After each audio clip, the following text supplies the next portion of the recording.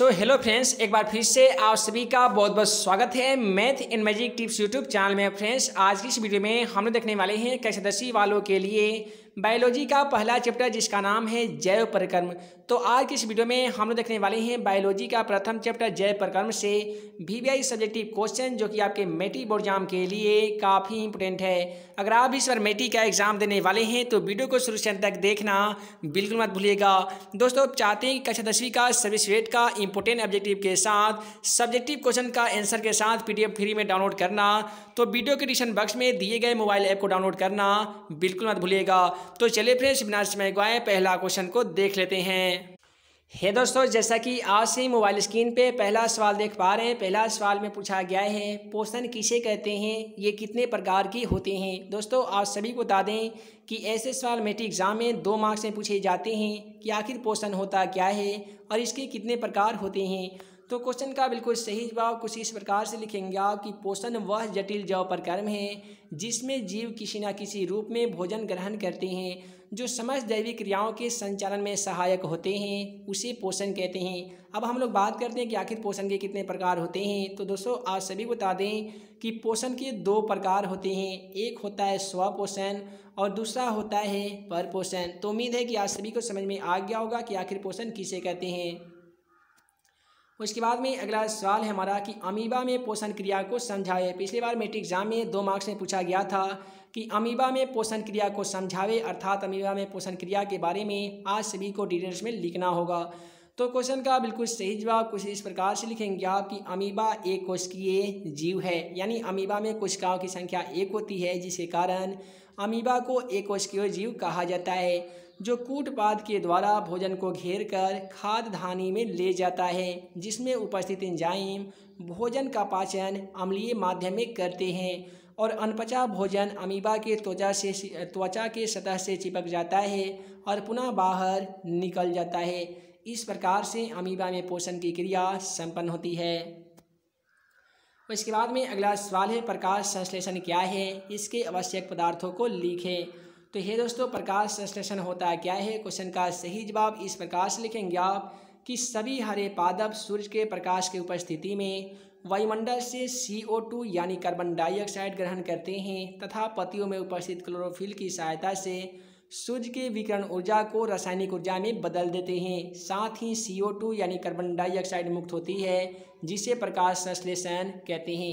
एक बार फिर से समझ लीजिए कि सभी हरे पादप सूर्य के प्रकाश की उपस्थिति में वायुमंडल से CO2 यानी कार्बन डाइऑक्साइड ग्रहण करते हैं, तथा पतियों में उपस्थित क्लोरोफिल की सहायता से सूर्य के विकर्ण ऊर्जा को रासायनिक ऊर्जा में बदल देते हैं। साथ ही CO2 यानी कार्बन डाइऑक्साइड मुक्त होती है। जिसे प्रकाश संश्लेषण कहते हैं। तो आपने जाना कि आखिर प्रकाश संश्लेषण कहते किसे हैं, उसके बाद में आप ये जानेंगे कि प्रकाश संश्लेषण के आवश्यक पदार्थ कौन कौन से होते हैं। तो आप सभी इस प्रकार से लिखेंगे कि प्रकाश संश्लेषण के लिए आवश्यक पदार्थ निम्नलिखित है। सबसे जो प्रकाश संश्लेषण के लिए इम्पोर्टेंट पदार्थ है ना, वो है सूर्य का प्रकाश। उसके बाद में आप सभी लिखेंगे सी ओ टू यानी कार्बन डाइऑक्साइड उसके बाद में आप लिखेंगे क्लोरोफिल उसके बाद में आप लिखेंगे एच टू जिसे हम लोग जल कहते हैं। उसके बाद में अगला सवाल बनता है, काफ़ी इंपॉर्टेंट क्वेश्चन दो में, दो मार्क्स में आपके एग्ज़ाम में पूछे जा सकते हैं कि पोषण जीवों के लिए क्यों आवश्यक है। कई बार मेट्रिक एग्ज़ाम में ऐसे सवाल पूछे जाते हैं कि श्वसन जीवों के लिए क्यों आवश्यक है। तो बाद में हम चल के श्वसन चैप्टर को भी हम लोग पढ़ेंगे, लेकिन यहाँ पे हम लोग बात करते हैं जैव प्रकर्म के बारे में। तो जैव प्रकर्म में ये सवाल काफ़ी इंपॉर्टेंट है कि पोषण जीवों के लिए क्यों आवश्यक है। तो क्वेश्चन का सही जवाब इस प्रकार से लिखना होगा आपको कि समस्त जैविक क्रियाओं का संचालन, कोशिकाओं की टूट फूट की मरम्मत, वृद्धि एवं विकास हेतु ऊर्जा की आवश्यकता पड़ती है। यानी शरीर के जितने भी समस्त जैविक क्रियाओं का संचालन होता है ना, कोशिकाओं की टूट फूट की मरम्मत के लिए, वृद्धि एवं विकास के लिए हमें ऊर्जा की आवश्यकता पड़ती है। और यह जो पोषण प्रक्रम द्वारा प्राप्त हमें भोजन से प्राप्त होता है, यही कारण है कि समस्त जीवों के लिए पोषण काफ़ी ही आवश्यक है। तो ये दोस्तों, चलिए हम आप सभी को अगला क्वेश्चन दिखा देते हैं। पहला जो सवाल है हमारा कि किनवन क्या है? मेट्रिक एग्ज़ाम में ऐसे सवाल दो मार्क्स से पूछे जाते हैं कि आखिर किनवन होता क्या है? तो क्वेश्चन का बिल्कुल सही जवाब लिखेंगे आप कि वह रासायनिक अभिक्रिया जिसमें सूक्ष्म जीव सूक्ष्म जीव का मतलब होता है सबसे छोटा जीव, जैसे ईस्ट हो गया, शर्करा का अपूर्ण विघटन करके सी ओ टू जिसे हम लोग कार्बन डाइऑक्साइड के नाम से जानते हैं तो कार्बन डाइऑक्साइड तथा एल्कोहल एसिटिक अम्ल इत्यादि का निर्माण होता है ना, उसे हम लोग किनवान कहते हैं। इसमें कुछ ऊर्जा भी मुक्त होती है। उसके बाद में अगला सवाल है क्वेश्चन दो में कि जल रंध्र किसे कहते हैं? जल रंध्र आखिर होता क्या है? तो क्वेश्चन का बिल्कुल सही जवाब कुछ इस प्रकार से लिखना होगा आपको कि ये विशेष रचनाएँ जलीय पौधों या छायादार शाखीय पौधों में पाई जाती है। यानी जल रंध्र की जो रचनाएँ होती है ना, वो जलीय पौधे, यानी वैसे पौधे जो जल में पाए जाते हैं, तथा छायादार शाखीय पौधों में पाई जाती है। ये पतिया की सिराओं के शीर्ष पर अति सूक्ष्म छिद्र के रूप में होती है, यानी पतियों के सिराओं के शीर्ष पर अंतिम छोटे छोटे छिद्र के रूप में होती है। कौन तो जल रंध्र जिसमें पानी बूंदों के रूप में निस्राव होता है। यही कारण है कि इसे जलमुख या जल रंध्र के नाम से जानते हैं। उसके बाद में अगला सवाल है हमारा कि विसरण किसे कहते हैं? आखिर विसरण कहते किसे हैं? तो क्वेश्चन का सही जवाब कुछ इस प्रकार से लिखेंगे आप। कि विसरण वह क्रिया है जिसमें उच्च सांद्रता क्षेत्र से निम्न सांद्रता की ओर आयतनों को या आयनों को, अणुओं का अभिगमन होता है। विसरण में अर्ध पारगम्य झिल्ली से होकर अभिगमन नहीं होता है। यह क्रिया ठोस द्रव और गैसों तीनों अवस्था में होती है। उसके बाद में अगला सवाल है हमारा कि विषम पोषी पोषण से आप क्या समझते हैं? आखिर विषम पोषी पोषण होता क्या है? तो क्वेश्चन का सही जवाब इस प्रकार से लिखेंगे आप। कि पोषण की वह विधि जिसमें कोई जीव अपना भोजन स्वयं ना बनाने पा, बना पाने के कारण अन्य जीवों पर आश्रित रहता है, उसे विषम पोषी पोषण कहते हैं। हरे पौधे एवं अन्य स्वपोषी के अलावे प्रायः सभी सजीव विषम पोषी होते हैं। एक बार फिर से समझ लीजिए कि पोषण की, पोषण का वह प्रकर्म या पोषण की वह विधि जिसमें जीव अपना भोजन स्वयं नहीं बना पाते हैं और अपने भोजन के लिए अन्य जीवों पर निर्भर रहते हैं, अर्थात अन्य जीवों पर आश्रित रहते हैं। उसे विषमपोषी पोषण कहते हैं। एग्ज़ाम्पल के तौर पे सभी हरे पौधे तथा अन्य स्वपोषी के अलावे प्रायः सभी सजीव विषमपोषी होते हैं। उसके बाद में अगला सवाल है हमारा कि हमारे शरीर में हेमोग्लोबिन के कमी के कारण क्या परिणाम हो सकते हैं? यानी हमारे शरीर में अगर हेमोग्लोबिन का कमी आ जाएगा तो हमारे शरीर में क्या परिवर्तन हो सकते हैं? तो क्वेश्चन का सही जवाब कुछ इस प्रकार से लिखेंगे आप कि हमारे शरीर में हेमोग्लोबिन के कमी से रक्त पतला हो जाता है। जब हमारे शरीर में हेमोग्लोबिन के कमी होता है ना तो खून यानी रक्त का जो रंग होता है ना, वो पतला हो जाता है। और आप सभी को मालूम होगा कि रक्त एक तरल संयोजी उत्तक है जो हेमोग्लोबिन के कारण लाल दिखाई देता है। हमें श्वसन के लिए यानी सांस लेने के लिए आवश्यक ऑक्सीजन की प्राप्ति नहीं होगी। किसी मनुष्य के शरीर में हेमोग्लोबिन की कमी आ जाएगी ना तो सांस लेने में भी उसको कठिनाई होगी, जिसके कारण वह शीघ्र ही थक जाएगा। हमारा भार कम हो सकता है, हमारा रंग पीला पड़ जाएगा, हमें कमज़ोरी अनुभव करेंगे। तो ये सभी कारण हैं, आखिर हमारे शरीर में हेमोग्लोबिन की कमी होगा।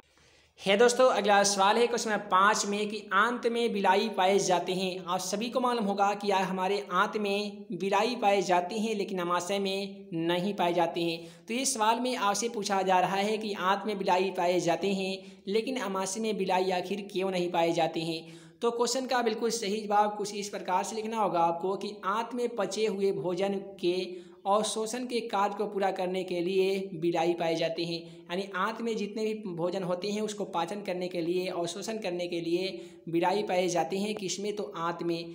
ये अवशोषण सतह को बढ़ाते हैं। अमाशय में अवशोषण का कार्य नहीं के बराबर होता है। तो आज सभी को मालूम होगा कि जब अमाशय में अवशोषण का कार्य नहीं के बराबर होगा, यही कारण है कि इसमें बिलाई नहीं पाए जाते हैं। उसके बाद में अगला सवाल है हमारा कि श्वसन के लिए ऑक्सीजन प्राप्त करने के दिशा में एक जलीय जीव की अपेक्षा स्थलीय जीव किस प्रकार के लाभप्रद है? तो श्वसन के लिए ऑक्सीजन प्राप्त करने के दिशा में एक जलीय जीव की अपेक्षा स्थलीय जीव किस प्रकार से लाभप्रद है? तो क्वेश्चन का बिल्कुल सही जवाब कुछ इस प्रकार से लिखेंगे आप कि जलीय जीव जल में घुली हुई ऑक्सीजन का श्वसन के लिए उपयोग करते हैं। जल में पाए जाने वाले जितने भी जीव होते हैं ना, वो ऑक्सीजन जल में से ही प्राप्त करते हैं। जल में घुली हुई ऑक्सीजन की मात्रा, जल में घुली हुई ऑक्सीजन की मात्रा, वायु में उपस्थित ऑक्सीजन की मात्रा की तुलना में बहुत कम होता है। इसीलिए जलीय जीवों के श्वसन की दर स्थलीय जीवों की अपेक्षा तेज होती है। मछलियाँ अपने मुँह के द्वारा जल लेती है और बलपूर्वक इसे क्लोम तक पहुंचाती है। वहाँ जल में घुली हुई ऑक्सीजन को रुधिर प्राप्त कर लेता है। एक बार फिर से समझ लीजिए कि श्वसन के लिए ऑक्सीजन प्राप्त करने की दिशा में एक जलीय जीव की अपेक्षा स्थलीय जीव किस प्रकार लाभप्रद होते हैं? क्वेश्चन का सही जवाब कुछ इस प्रकार से लिखेंगे आप कि जलीय जीव जल में घुली हुई ऑक्सीजन का श्वसन के लिए उपयोग करते हैं। अर्थात आसान भाषा में समझ लीजिए कि जल के अंदर जितने भी पाए जाने वाले छोटे छोटे जीव होते हैं ना, उनको ऑक्सीजन की प्राप्ति जल के माध्यम से होती है। जल में घुली हुई ऑक्सीजन की मात्रा, वायु में उपस्थित ऑक्सीजन की मात्रा की तुलना में बहुत कम होता है। अर्थात जल में ऑक्सीजन की मात्रा कम होता है और वायु में ऑक्सीजन की मात्रा ज़्यादा होता है। इसीलिए जलीय जीवों में श्वसन की दर स्थलीय जीवों में की अपेक्षा काफ़ी तेज होती है। यानी जल जल में पाए जाने वाले जीवों में ऑक्सीजन की जो तुलना है वो कम होता है और स्थलीय जीवों में ऑक्सीजन की मात्रा ज़्यादा होता है। मछलियाँ अपने मुँह के द्वारा जल ग्रहण करती है और बलपूर्वक इसे कोलोम तक पहुंचाती है। वहाँ जल में घुली हुई ऑक्सीजन को रुधिर प्राप्त कर लेता है। उसके बाद में अगला सवाल है कि कोई वस्तु सजीव है। मान लेते हैं कि कोई भी ऐसा वस्तु है जो सजीव है। तो इसका निर्धारण करने के लिए हम किस मापदंड का प्रयोग करेंगे? कोई भी वस्तु सजीव है, इसका निर्धारण करने के लिए हम किस मापदंड का उपयोग करेंगे? तो क्वेश्चन का बिल्कुल सही जवाब लिखेंगे आप। कि यद्यपि हम अपने चारों ओर अनेकों वस्तुओं को देखते हैं, यदि हम लोग अपने चारों ओर अनेकों वस्तुओं को देखते हैं, अब हमें इस बात की पुष्टि करनी है कि कौन सी वस्तु जीवित है और कौन सी वस्तु अजीवित है। इसके लिए हम उनमें होने वाली गतियों को देखते हैं। यदि वस्तु बिना किसी बाह्य शक्ति के गति करती है तो समझ लीजिए कि वो जीवित है, ठीक है? यदि कोई बहुकोशिकीय जीव सोई हुई अवस्था में है भी आणविक गति निरंतर हो जाती है। यदि वह बाहर से दिखाई नहीं पड़ती है तो उनमें गति हो रही होती है। स्पष्ट है कि गति द्वारा हम सजीव तथा निर्जीव वस्तु का निर्धारण करते हैं। तो आसान भाषा में आपने जाना कि किसी भी वस्तु सजीव है या निर्जीव है तो उसका पता हम गति के द्वारा लगाते हैं। उसके बाद में अगला सवाल है क्वेश्चन आठ में कि हमारे जैसे बहुकोशीय जीवों में ऑक्सीजन की आवश्यकता पूरी करने में विषण क्यों अपर्याप्त होता है? हमारे जैसे बहुकोशिकीय जीवों में ऑक्सीजन की आवश्यकता पूरी करने में विषण किस प्रकार से अपर्याप्त होता है? तो सबसे पहले आपको ये जानना होगा कि एक कोशिकीय जीव किसे कहते हैं और बहुकोशिकीय जीव किसे कहते हैं। तो दोस्तों, आसान भाषा में समझ लीजिए कि जिन जीवों का शरीर एक कोशिका से मिलकर बना होता है, उसे हम लोग एक कोशिकीय जीव कहते हैं। और जिन जीवों का शरीर अनेक कोशिकाओं के मिलने से बना होता है ना, उसे हम लोग बहुकोशिकीय जीव कहते हैं। तो यहाँ पे इसका आंसर की हम लोग बात करते हैं कि मानव जैसे बहुकोशिकीय जीव, जिनके शरीर में अनेक कोशिका तथा उत्तक ही नहीं होते, परंतु अंग तथा अंग स्थान भी होते हैं। आप सभी को मालूम होगा कि मनुष्य के शरीर में कोशिका के साथ साथ अनेक प्रकार के उत्तक ही मौजूद होते हैं, जिसमें ऊर्जा की बहुत आवश्यकता होती है। अधिकांशतः अंग शरीर के अंदर की ओर स्थित होते हैं, अतः विस्तन क्रिया द्वारा उन सभी अंगों को ऑक्सीजन नहीं पहुँच पाती है, जिसके परिणाम स्वरूप उनमें उपस्थित भोजन का ऑक्सीकरण नहीं हो पाता है। परिमाणतः शरीर अंग कार्य नहीं करते हैं, अतः मानव जैसे जीवों की ऑक्सीजन को शरीर के विभिन्न अंगों की कोशिकाओं में पहुँचाने हेतु एक तंत्र होता है, जिसे हम लोग श्वसन श्वसन अंग या श्वसन तंत्र के नाम से जानते हैं। उसके बाद में अगला सवाल है कि नौ में कि किसी जीव द्वारा किन कच्ची सामग्रियों का उपयोग किया जाता है? किसी भी जीव के द्वारा किन किन कच्ची सामग्रियों का उपयोग किया जाता है?